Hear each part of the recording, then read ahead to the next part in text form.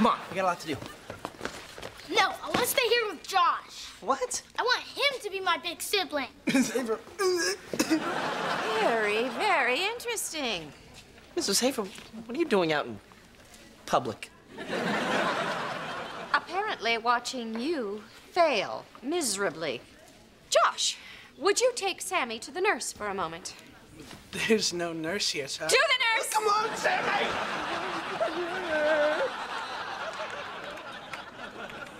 Mrs. Hayfer, I can explain. Drake, we had a deal.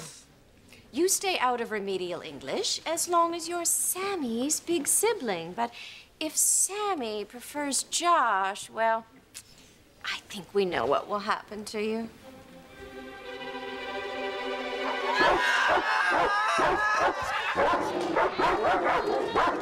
Won't someone please call the police?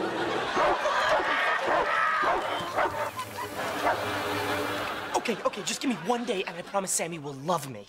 Make sure it happens. Oh, and Drake, guess what? What? I hate you. I know.